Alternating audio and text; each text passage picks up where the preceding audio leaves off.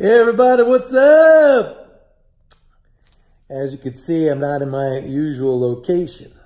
I'm in Colorado, visiting my son who is in uh, college here. So, we have stocks headed for new record highs as I forecast. By the way, let's go back.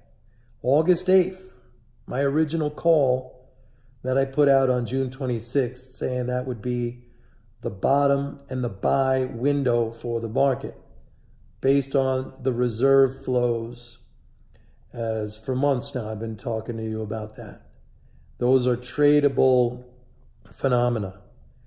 Uh, August 8th, the early morning of August 8th, we saw a low of 27.75 in the S&P futures. We did not revisit that at all. We had a couple of thrusts, I guess, down to the low 28 handle. We are now back above 3,000 on the way to new all-time highs. The 10-year Treasury at 175. Again, now this comes, don't forget, this comes amid a backdrop of relentless forecasts of recession. We have had I guess, a 30 basis point move up in 10 year bond yields uh, with no apparent shift in the economic outlook, at least the outlook of those who are calling for recession. Now, as you know, I was the only one, and I'm sticking by this forecast and this explanation, this theory, that it was the debt ceiling and the distortions of the debt ceiling, the distortions that the debt ceiling caused, which created a huge rally in the bond market and the drop in yields. It had nothing to do with any imminent recession. We're not going to have a recession. We are now at an all-time record high of government spending. You will see that come out in the news just as I reported several days ago that we are over 1 trillion on the deficit now. I'm the first one out to report that. I see those numbers every single day, whereas you will probably hear it in the news uh, sometime next week. And of course, it will be construed as an extremely negative development when in fact it's really something very positive. I told you that I mean, an easy explanation is that when the government spends more than it takes away in taxes, it is a net addition to the non-government's financial balances. That's not bad. That's good. But don't expect people to understand that. As a matter of fact, um, even the president, Trump, there were some things he said, I mean, really, Today, he said the Fed ought to lower interest rates to zero or even less than that so we can refinance our debt. And we ought to extend uh, the duration of our loans out to 50 or 100 years. So there is so much wrong in those statements. First of all, it is, it is conflating the government's finances with that of a household. Not the same thing. Apples and oranges. Households are not currency issuers. There is no refinancing of the debt. As a matter of fact, there is no debt. The treasuries, the 22 trillion of treasuries outstanding, which is often pointed to as the debt, is the total amount that the government spent minus what it took away in taxes. And that those are dollars, that is 22 trillion dollars being held in the form of government securities called treasuries which themselves are dollars, they're nothing more than dollars, with a term, meaning a duration, and a coupon, meaning an interest payment. So those are like dollars that earns interest. There is no refinancing of the debt. Uh, I mean, I wouldn't even know how you would do that. Um, basically, that happens all the time when you think about it. Uh, redemptions, uh, the government pays back the maturing securities and then rolls those over into new securities. As far as uh, extending the duration, that fails to understand that the sale of government securities, the sale of treasuries, bonds, whatnot, is nothing more than a reserve drain. And that could be accomplished by selling T-bills. You really don't have to sell two-year notes, five-year, 10-year, 30-year. And the idea of extending it all the way out to 50 and 100 years is ridiculous. It's based on a nonsensical understanding of what treasury sales really are. They're just a reserve drain.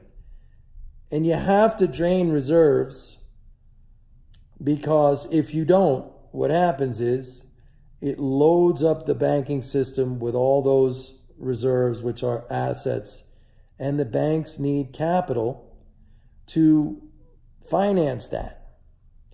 That's why, for example, when you look at Japan, when you look at Europe, and the actions taken by the Bank of Japan or the ECB pouring trillions and trillions of reserves into their banking system, it has destroyed their banks. Look at Deutsche Bank.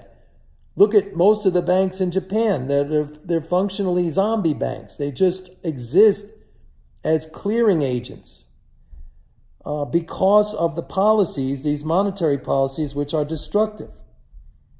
And for Trump to call for negative rates, I mean, that hasn't helped in Europe. It hasn't helped in Japan. It's not going to help in the United States.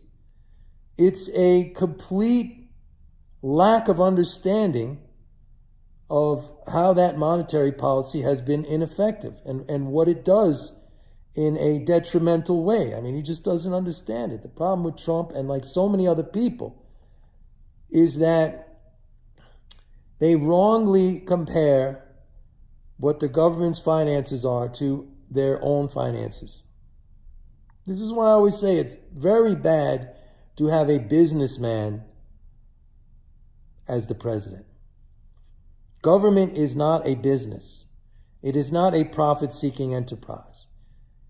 If government were a profit-seeking enterprise, it would own all the means of production and all the income and all the currency and everything else very easily just by virtue of the fact that it has ultimate and complete control over laws, over currency issuance, over the judicial system. I mean, it's ridiculous. It's ridiculous. It would impoverish all of us if the government were run as a profit-seeking enterprise. The government is a creator of money and a taker of things, and the private sector is a creator of things and a taker of money. That's the relationship. And to flip it around the other way, it would never ever work. Would never ever work.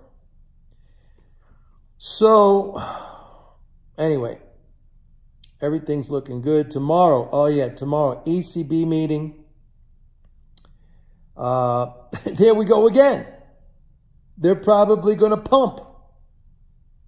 The banks are pleading with the ECB, please, no more of this monetary policy. We don't need more reserves. We don't need negative rates. As a matter of fact, negative rates are a tax.